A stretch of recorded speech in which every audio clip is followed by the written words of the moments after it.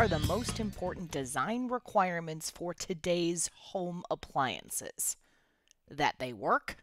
Yes, absolutely. That they are quiet? No one likes any kind of loud appliance anymore. That they are energy efficient? Now we're talking. Long gone are the days of mechanical buttons and knobs in our home appliances. Today's modern appliances require a variety of different modes, voltages, and motors. Keeping all of those considerations in mind, energy efficiency must reign supreme. Hi, I'm Amelia Dalton, host of Chalk Talk. In this episode, Silvestro Fimiani from Power Integrations joins me to discuss how you can improve the efficiency of your appliance and smart home design power supplies with Power Integrations InnoSwitch 3 with FluxLink and PowiGaN. And before we get started, don't forget to click that link. There you can find even more information about this topic from Power Integrations. Hi, Silvestro. Thank you so much for joining me. Hi. Okay, so we're talking about improving efficiency in smart home power supplies and appliances today. But before we get started, Silvestro, can you set the stage for us? Is it just me, or are we seeing a lot more appliances now than ever before? Yeah, in particular in this last two years after COVID, there was a huge request for appliance that uh, probably one year ago was even difficult to find a microwave here in US. But there is an historical trend. In the last 20 years, the major appliances like washing machine, dryer, dishwasher, they have increased two times in terms of volume uh, in this 20 years. And this reflects the fact that the middle class worldwide is increasing uh, in number. And, uh, and even more, for example, happen for air conditioning with the global warming. Now we have five times more air conditioning that we sell every year than uh, 20 years ago. These are definitely not your grandmother's appliances, right? We're looking at a lot more features today. Yeah, there is all these uh, new feature that uh, uh, are populating appliance from uh, Wi-Fi and uh, display, LED light. everything became uh, nice and shining. Unfortunately, this stuff consume power, and you need a very efficient power supply there to try to mitigate the consume of power.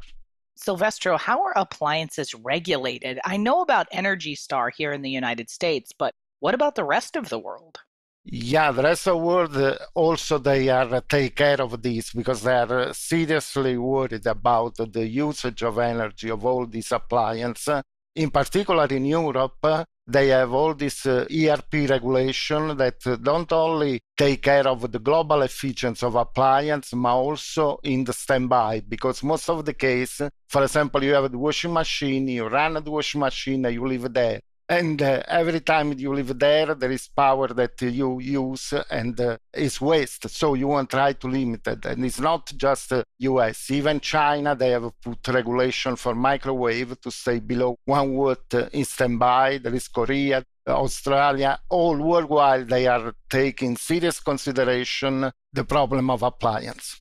Silvestro, let's talk specifically about power supplies for these appliances. What does Power Integrations offer in this arena? In this arena, historically, Power Integration, uh, we have offered a lot of family that cover appliance. In particular, the most popular uh, family for appliance are uh, the TinySwitch, Tiny Switch 4, and that cover up to 20 watt. It's a simple product on off, very easy to design, 132 kilohertz. Is able to use very small transformer and uh, you have a, a, no load below 30 milliwatt, very, very efficient. It's available even in SO8 package, so you can build very small board that fit in any appliance. And after we have uh, our uh, large device, the Top JX, that can cover up to 200 watt. This is a multi-mode PWM controller. You can select both 66 or 132 kilohertz, depend on uh, transformer size, efficiency uh, trade-off. You have a bunch of protection of future like line OV, line UV, and this uh, user programmable. You can have latch, uh, hysterical, have a lot, a lot of feature, and they have a very proprietary package that allow very good thermal exchange that is important for appliance because most of these appliances they work at temperature ambient like 85 degrees so this is uh, what is now the situation with uh, what we offer in the market now but of course there is something new that is taken for appliance uh, for the next generation and the next generation that is already there and is entering in, in the appliance world is uh, basically two great technology that we have introduced uh, in recent year. One is the FluxLink, that is the basic uh, algorithm, uh, the basic communication for InnoSwitch 3 family. The other uh, important uh, technology that we bring to the market is the power, the GaN. This is this new material that allows to have a very efficient power supply. Excellent. So let's talk more about these new exciting solutions coming. Can you give me some details about them? Yeah, for example, the, know, the latest of the InnoSwitch family, InnoSwitch 3, is the InnoSwitch 3TN. This is a target essentially for low power appliance like washing machine, dryer, low-end refrigerator. And this cover a power in the range of uh, below 16 watt universal. High line for Europe, it can go up to 20 watt. The most important is based on the same technology of InnoSwitch. You have an OPTO, not TL431, very, very simple uh, circuit, and uh, is able to do 87% efficiency at full load across the line. But most important, that 10% load is able to do 75% efficiency. That is very important to meet ERP regulation. And uh, amazing is able in case of no load when you have this device that don't work there is nothing that uh, ask power is able to go below 5 milliwatt that we consider uh, zero no load. Basically we round everything that is below 4.5 milliwatt like zero. And this is one uh, is amazing because he continue to keep the very fast transient all the performance of a standard power supply.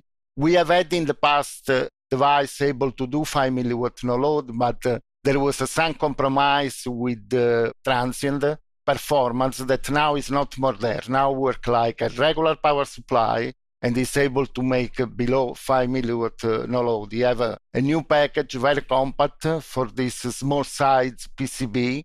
You have a very accurate output control. You can reach plus minus 3% across line load regulation he can even control the maximum power that deliver to meet UL regulation. It can work isolate, non-isolate. Basically, it's a real uh, the device that any appliance guy is waiting uh, to improve efficiency, simplify the circuit, uh, and cover all up to 20 watt. So I know in the case of power supplies that lower RDS on and switching loss are really important aspects of these designs. So what does the PowiGaN offer us in this case? This is very important because, in particular for high power, in particular for this new appliance like refrigerator, where you have uh, LED light, you have uh, ice maker uh, that require DC motor, or even for appliance high end where there is a bunch of DC motor, low voltage motor there, you need extremely high efficiency. You need something like uh, 5, 6 amps. So it's extremely important to have very high efficiency with the device. Thanks to the extremely low RDS on that you can reach, the extremely low switching losses, you are able to reach now efficiency in the range of 95%. So it's real a step ahead that was uh, unimaginable in the in the past. A real and most important, the combination of our technology of PowiGaN and the technology of InnoSwitch with the proprietary algorithm to work the power supply, the chip is able to reach very high efficiency, even a very light load. This is very important, for example, in, the refrigerator.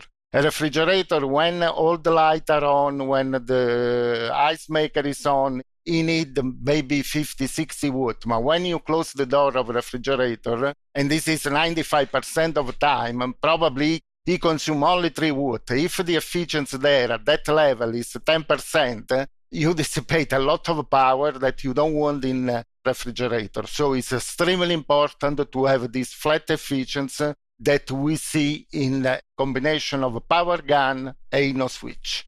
Okay, so Silvestro, what about power efficiency? What do the GaN switch and InnoSwitch buy me as an engineer here?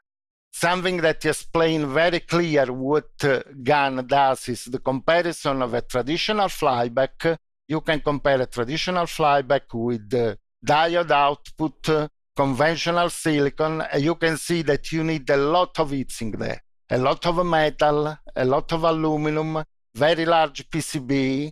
In GaN, you absolutely eliminate this. These heatsink are terrible for appliance because generally you have vibration, you have uh, appliances that move around worldwide when are transportation and you don't want this stuff because this of course can create a problem of reliability. With GaN you have absolutely no worry about this. You have absolutely no heatsink. Very simple board no heatsink clean to do. Another important stuff that GaN give you is the fact that now people want, the, in particular our customer, they want the design worldwide. They don't want the design a power supply for US, a power supply for Europe and other. In particular, there is the big problem of India and other country where the line is not stable. So you need to have something that is able to, in case there is a short between line to line, the power supply should survive this is solved, for example, using uh, 900 volt MOSFET for India, 725 volts uh, MOSFET for the other country, and maybe 650 volts for uh, US, where you have 110 volts input only. But with GaN, is able to sustain much higher voltage for a long period of time. So basically, you can have a single power supply GaN that cover from US to India is a worldwide solution. You don't need any more multiple uh, power supply for each region. One design fit all. So Silvestro, when it comes to appliances, we need to talk about motor drives as well, right? So what kind of requirements should we be considering here? So far we have all talked about auxiliary power supply, you know, the stuff that you need to power up the display, to drive a small motor DC or uh, to drive relay inside to the appliance. But most important in this appliance is all these motors that are 300, 400 watt that uh, for reason of noise you want to go brushless. You don't want to go with the brush DC because but no one enjoy have a washing machine that make a bunch of noise uh, in your house. So there is a huge proliferation of these motors that are brushless for two main reasons. One, we have already mentioned the noise. The second one is the efficiency. The brushless motors are very, very efficient. And for the same reason, everyone in China or worldwide, they are trying to put regulation to improve efficiency on this motor. In particular, European Union, they want to try to save $20 billion by 2035 with this new motor, a new way to drive. And the same in China, they have a new standard for air conditioner to increase efficiency. So this motor in the range of 200, 400 watts that you can drive a fan, you can drive a refrigerator, became more popular in the world. So we have a think about a solution also for this case the product that we are proposing is called BridgeSwitch because it is a bridge that drive the brushless motor. It can go from a power from uh, up to 400 watt, and they can reach uh, because it works essentially high voltage. It can reach 99% efficiency with no heatsink. It's a self-drive. You don't need external power supply to drive the chip. You have hardware-based uh, protection and have a lot of uh, fault and monitor to be sure that that the solution is very reliable in the market and uh, it can support motor from 1 amp to 11 amp. It's very flexible because uh, every single ic contain only just uh, one part of the bridge just one arm of a bridge. So you can have uh, three of these ic to have the full bridge and you have a three phase motor or you can have two of these devices you can drive the single phase motor and you can both with the sensor or, or without the sensor It's very, very simple to use. For each phase, you have this device, and you have a bus that communicate with your micro that give all the condition uh, if there is an over temperature, if there is a, a short circuit, to whatever, there is an over voltage. He communicate all this information to the micro so the design can uh, monitor each of these chip, what's going on, and act by consequence so this avoid any situation that could fail the device, fail the system, because you monitor constantly the situation there. So, Silvestro, earlier you mentioned we'd be talking about smart home appliances as well. So, in this domain, standby power is also a really important aspect to consider, right?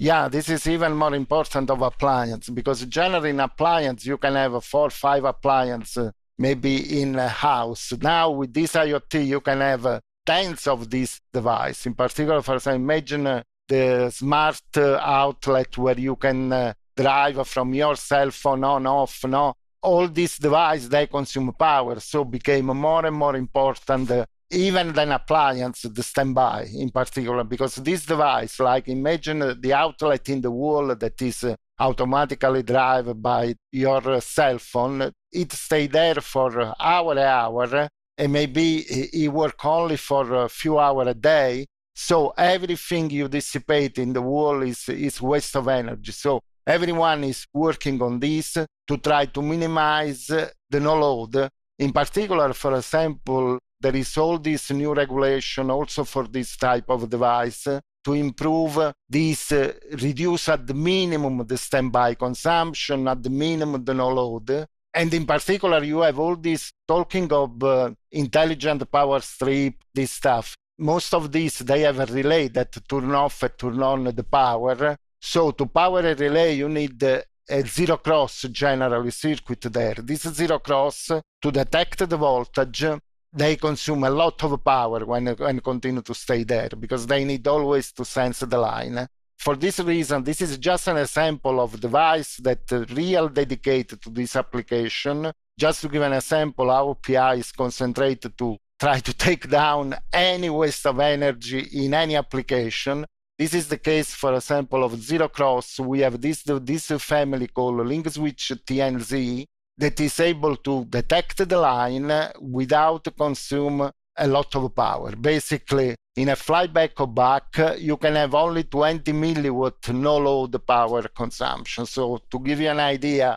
the previous solution was something like 200, 300, 500 milliwatt if you use a conventional approach with this device you go 20 milliwatt so you reduce by a factor 10 the dissipation and it's very very simple just a couple of uh, standard device to the traditional buck and you can have uh, a solution for relay for all these IoT that operate with with relay. So you have all these uh, two-wire dimmers, switcher, occupancy sensor, AC line detector, all this stuff, home appliance, of course. So you eliminate a bunch of external circuits that are very dissipative and they give you exactly the signal when the line crosses zero you can safely power up your relay. You can see that this is the power consumption at no load and you see that uh, in US where you have 110 volts you dissipate below 10 milliwatt uh, in this case a load. And Europe, you are in the range of uh, 11. So it's real great solution that reduce probably by a factor 10 or 20 the previous uh, solution. This is what we are doing uh, for appliance. We believe that uh, efficiency is the most important factor now that uh, appliance became pervasive and any, anyone is looking to don't waste energy for appliance. And we believe that we have the best solution with these two great technology, the FluxLink InnoSwitch 3 and the GaN Put together, we can have uh, in the range of 90% efficiency, in the range of 20 watt, and even 95% efficiency of full load for uh, power in the range of 60, 100 watt. And this thanks to the synchronous rectification, Inno3 algorithm, and PowiGaN. So you have more output available both a standby and full load. In addition, we are trying to increase the reliability of the part, in particular with the GaN that sustain easily. You can have a 380 volts input and the GaN still survive. We have 900 volt MOSFET that is another option for worldwide application. Generally, we have the lowest component count in our uh, power supply, and we use over voltage, over temperature, all this protection to make uh, reliable the power supply. And the BridgeSwitch is this family that increase efficiency for uh, the motor is uh, the ideal solution for single phase motor or multi phase motor you have the lowest component count versus uh, other competitor and have hardwired protection with all information that the design can get from the chip communicate with MCU and take the right decision to avoid the failure of the system. Excellent. Well, Silvestro, I think that's all I have time for today. Thank you so much for joining me. Okay, great. Thanks. And before we go, you didn't forget to click that link, did you? There you can find even more information about this topic from Power Integrations. For Chalk Talks, I'm Amelia Dalton from eejournal.com. For more Chalk Talks, head on over to the Chalk Talks section of EE Journal. You can't miss it, it's right across the top. Or head on over to YouTube, youtube.com slash EE Journal.